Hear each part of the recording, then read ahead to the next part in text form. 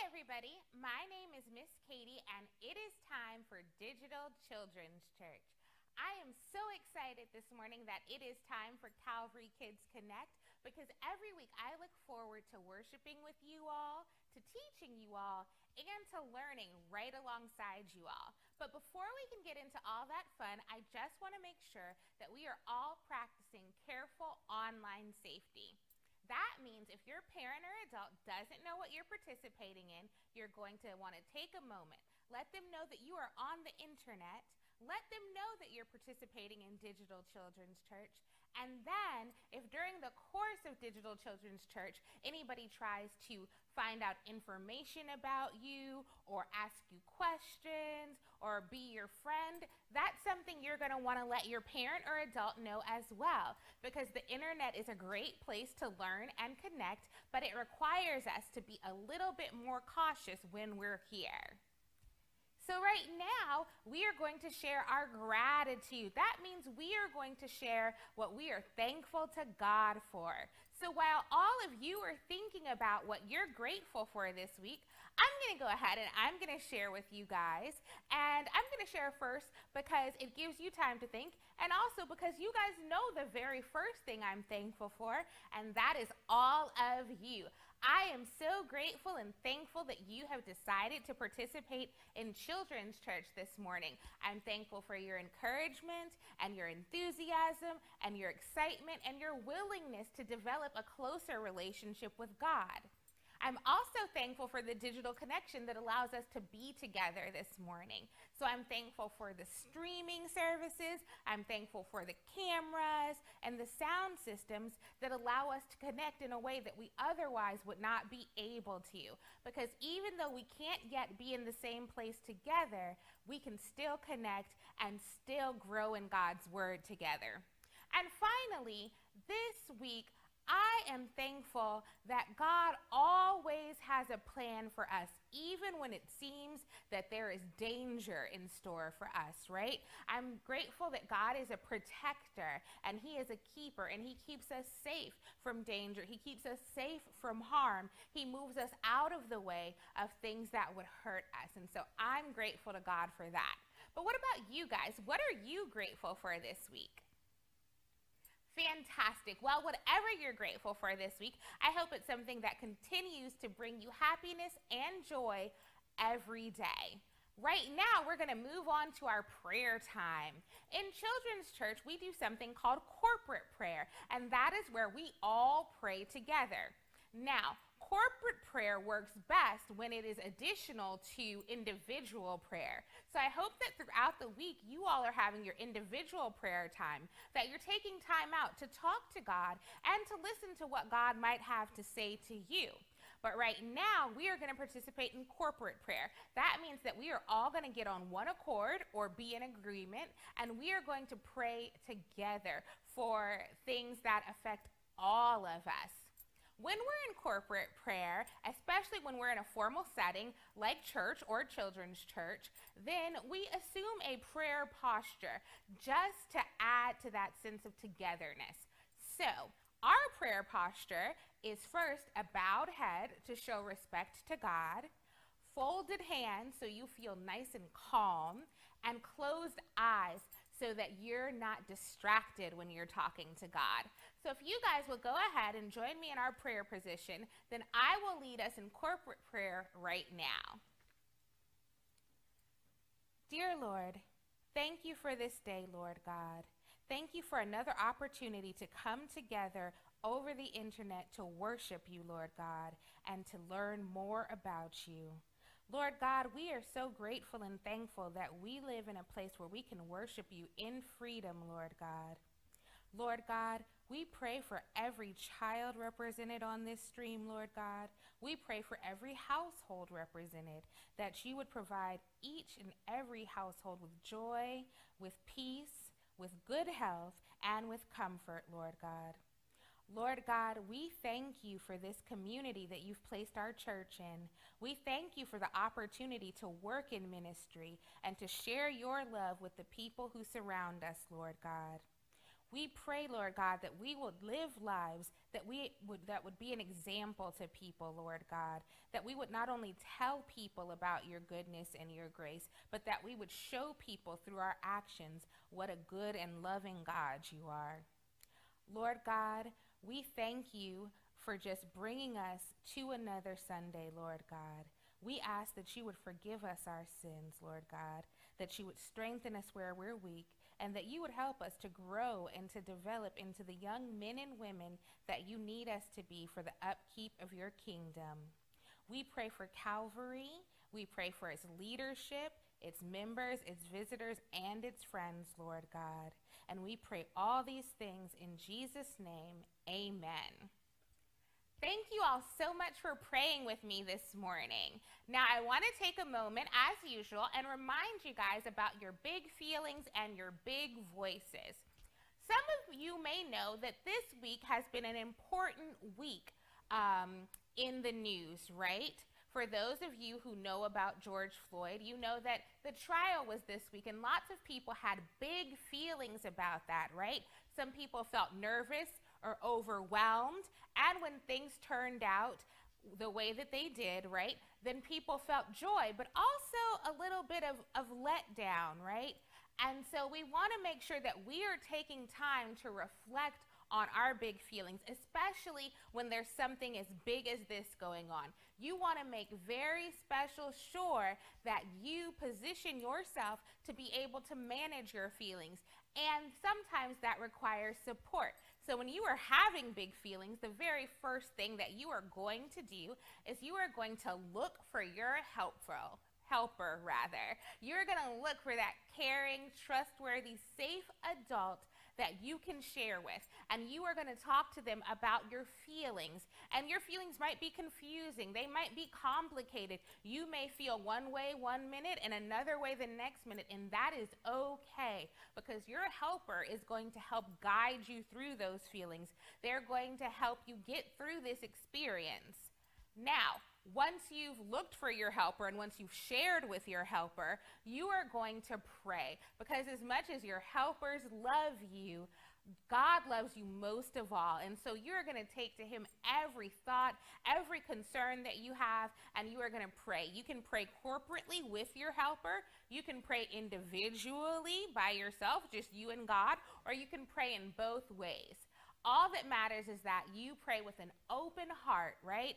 And a willingness to submit everything to God because He cares for you. And after you've done that, after you've looked, shared, prayed, then you're going to go and you're going to play because you have every confidence that God will do what he says he will do, right? That he will comfort us and he will keep us and he will take on our burdens. When we turn something over to God, we don't have to hang on to it. We don't have to keep an eye on it because God is all powerful, He's all knowing, and He is always present. So He is willing and able to take care of anything that you give to Him. So you are going to go and you are going to play because you know that God wants you to have a full, happy, and joyous life. And if you need to find a helper or an additional caring adult, then you can always call the church. If you need somebody to talk to, your church is here for you, and we would love to listen to you. So you can always reach us at 607 273 7291 because if you want to talk, then we want to listen. So now it's time for our recap. And this recap just allows us to go over what we've learned last week. And we do that for two reasons. The first reason that we do it is because we want to make sure that we are retaining or keeping all of the information that we learned last week. The second reason we do a recap is because we want to make sure that we can build on what we learned last week as we learn a new lesson this week. So, Last week in Children's Church, we began a new unit called Road Trip Through the Bible. Now, as the unit was introduced, we learned four important unit keywords. The first unit keyword was topography, right? And we know that topography is the shape of the Earth's surface in a particular area.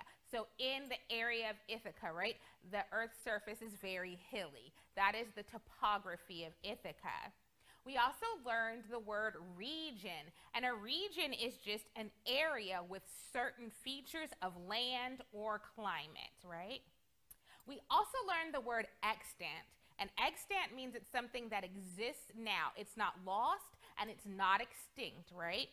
And finally, we learned our fourth unit keyword, which is etymology. And etymology is just the history of a word and its meaning.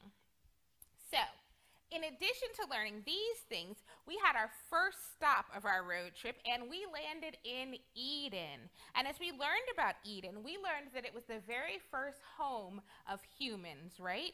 And we also learned four important things by spending time in Eden.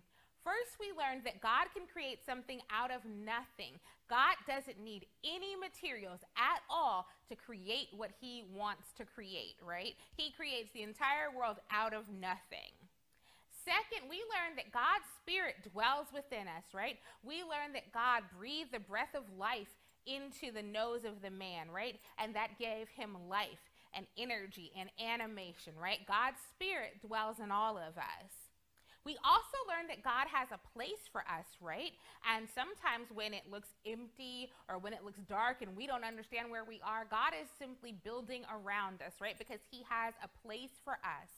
And finally, we learned that God has given us all a purpose. For the first man, his purpose was to tend to the garden, right, and to care for all of the things there. And we each have a unique purpose in life, too, because God has gifted us with purpose. So, our memory verse from last week came from Genesis, the second chapter, the seventh verse, part B. That means we took the second part of that verse. And it says, The Lord breathed the breath of life into man's nose. Because we always want to remember, right, when we're how we are treating ourselves and how we're treating others, we want to remember that that should be determined by our understanding that God's Spirit lives in us and it lives in everyone around us. So, for this week, we are traveling some more and we're making our next stop at Mount Ararat. But before we can get there, we of course have some lesson keywords, right? And we know that our keywords or sometimes key phrases are just terms that we need to learn so that we can better understand our lesson. Our first keyword for this week is antediluvian antediluvian. Now, that's a big word. It simply means before the flood, right? And so we know that there is a big flood in Genesis. We're going to talk about that a little later today. And so there's a time before the flood, which is antediluvian. Our second keyword is post-diluvian. And if you guess that this is the opposite of antediluvian, you are so right. Post-diluvian simply means the time after the flood, right? So antediluvian is before the flood, postdiluvian is after the flood. Our third key word is ark. And an ark is an enormous boat or a chest, kind of like a treasure chest, right? It holds something, it protects it. It is a place of protection, right? And so Noah built a giant, giant, giant ark into which he took his family and all living things. And his ark, by today's measurements, would be 2,275,630 and a half cubic feet. That is huge, right? It is gigantic. And so that's the ark that we'll be talking about. And our fourth and final lesson keyword this week is covenant. Now, we've had this word before, but I wanted to remind you, right? A covenant is a solemn or serious promise or agreement, right? And in today's lesson, we're talking particularly about a covenant or an agreement between God, his people, and all living things. And so we're going to get into that in just a little bit. But the first thing we're going to do is we are going to read our scriptures. Now, today we're going to be in the book of Genesis again. And in particular, we are going to be in Genesis chapter 8, verses 1 through 4, and Genesis chapter 9, verses 8 through 16. Now, that's a lot of verses and two chapters to navigate.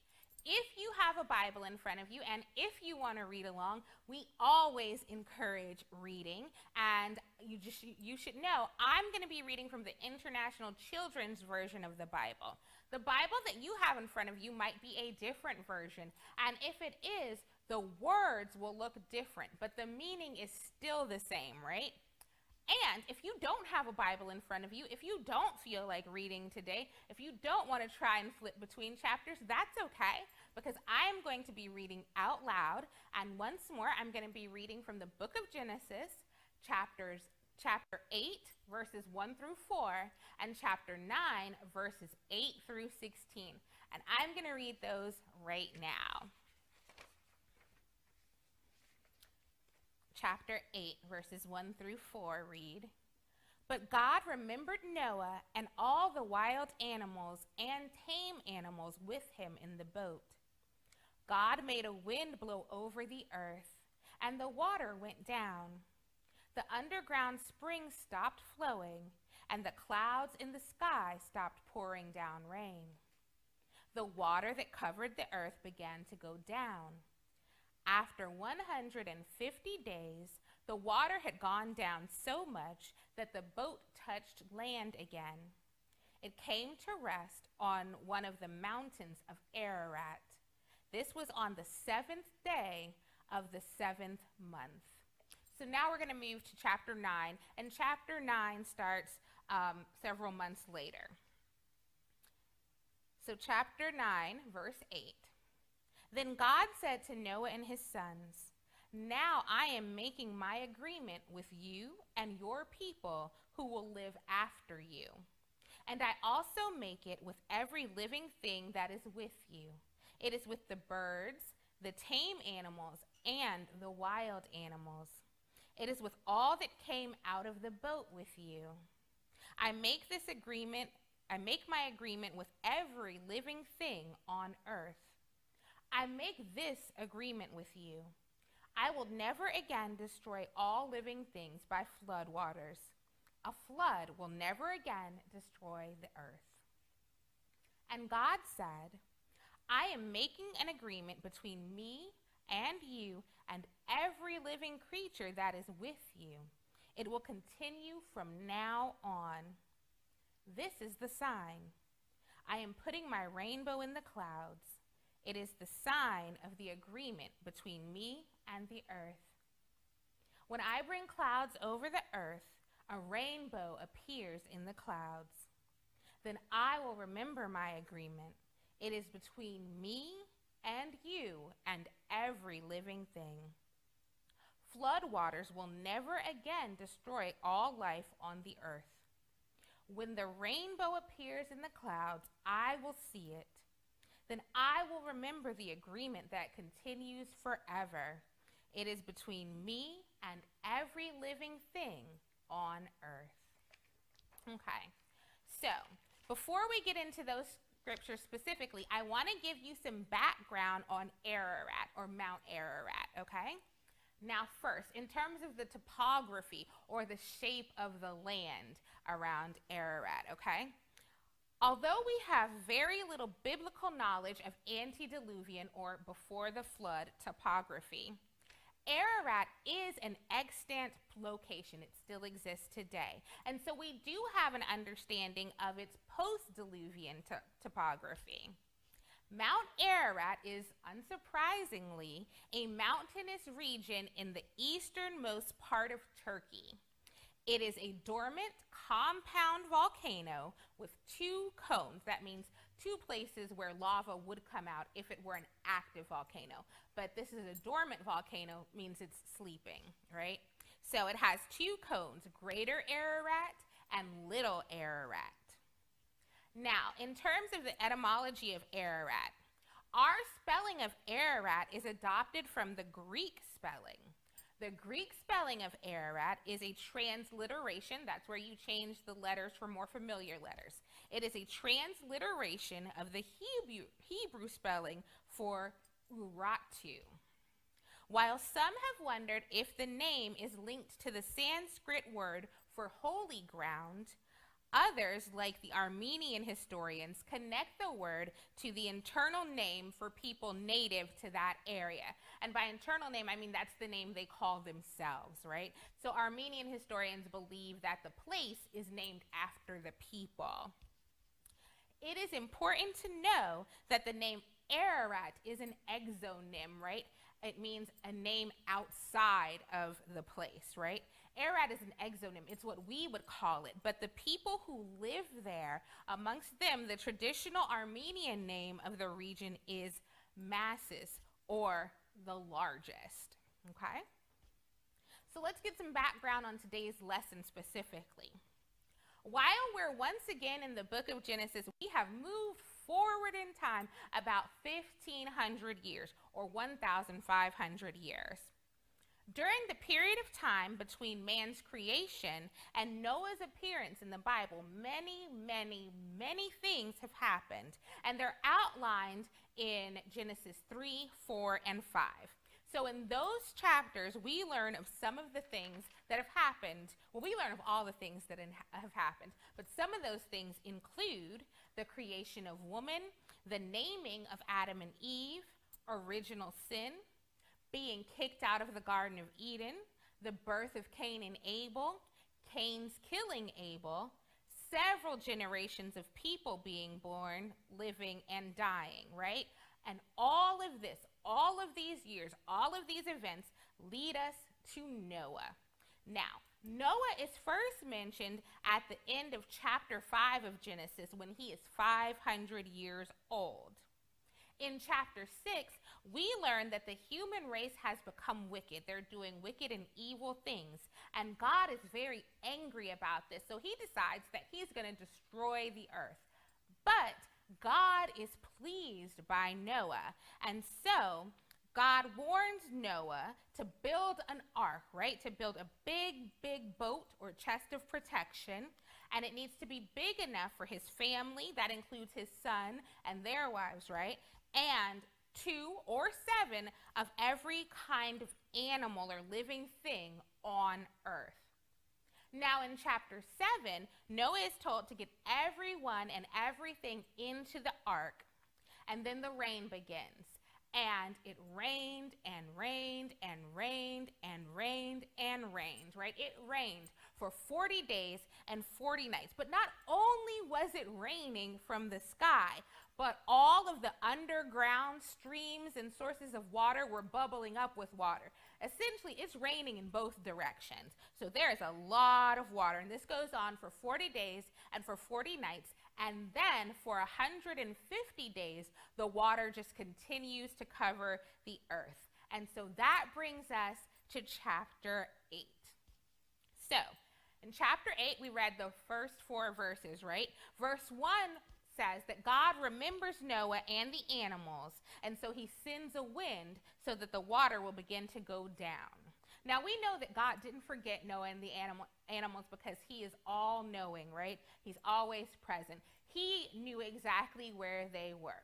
But God remembers them, right? So he decides it's time to make a change for them. And so he sends a great wind to lower the waters. In verse 2, all of the raining and all of the water flow from the ground stops. Okay? In verses 3 and 4, the water levels continue to go down. And then 150 days after that, the ark comes to rest in the mountains of Ararat.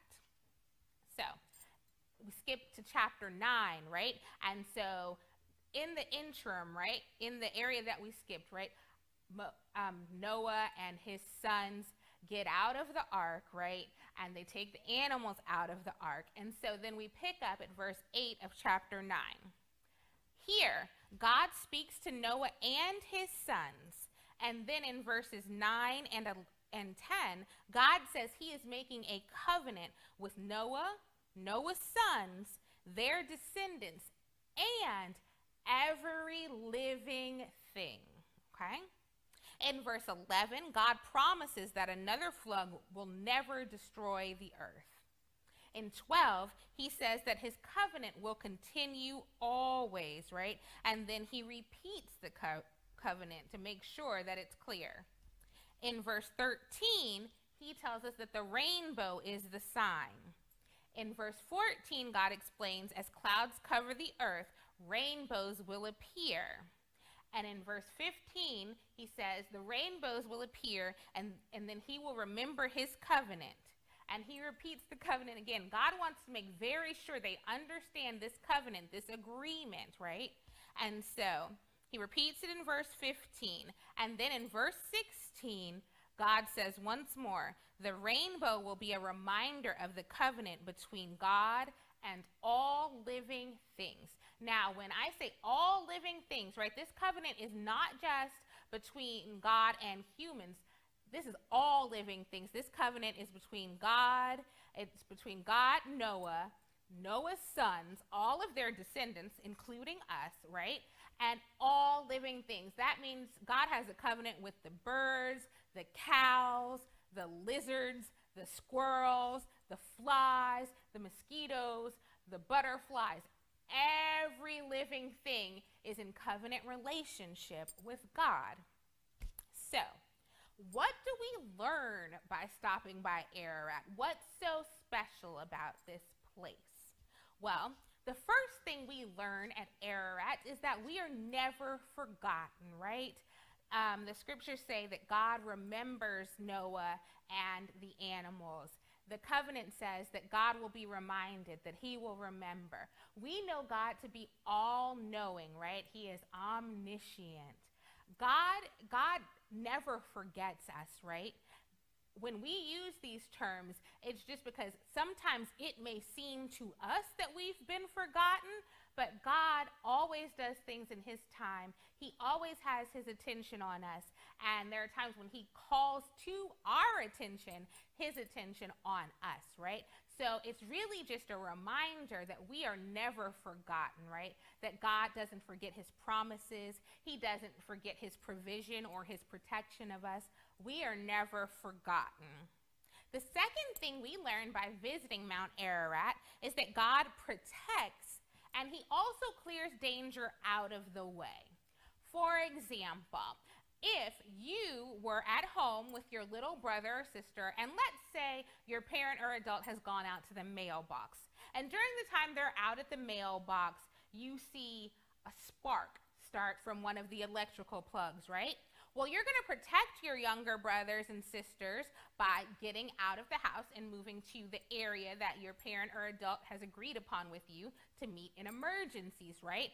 You are going to protect them from the danger. But when God protects us from danger, He not only shields us from the danger, but then He clears the danger out of the way, right?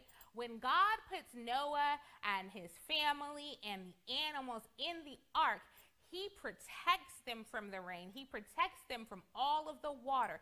And he does this for about a year, right? But even when it stops raining, it is dangerous for Noah and his sons and the animals to get out of the ark. There is no dry land for them. And so, what God does first, now that He's protected them, is He clears away the danger, right? God dries up the land and He makes the space inhabitable for them, right? It means He makes it into a place that they can live in. So, not only does God protect us, but He also clears away the danger to us. The third thing we learn is that God makes all things reason that I wanted to visit Mount Ararat after visiting Eden is because Eden is our antediluvian or pre flood starting place, right? This is where humanity begins, right? That's our starting point. Now, after the flood, post diluvian, Mount Ararat is our new starting place, right? That is where humans emerge from the ark into this new world that has been cleaned and is ready for their use, right? Everything that's evil and wicked has been washed away, right? God will make all things new, right? And that's not only true of environment, but we know that's true for ourselves, right? We know that the same way in which the earth is cleansed from every wicked thing and every wicked person, through the flood, we are also cleansed, right? Through baptism and through the sacrifice of Jesus, right? And so, just like we're new creatures in God, God creates the whole world anew and gives us a fresh start at Mount Ararat. And finally, by visiting Mount Ararat, we learn that we are in covenant relationship with God. Now, God makes agreements and covenants with his people throughout the Bible, okay? And there are even some agreements and covenants that come before this one. But the covenant of the rainbow, right? Noah's covenant is the first promise that is named a covenant. It's the first time that specific word is used, right? And so it's just a reminder to us that we are perpetually or always in covenant with God.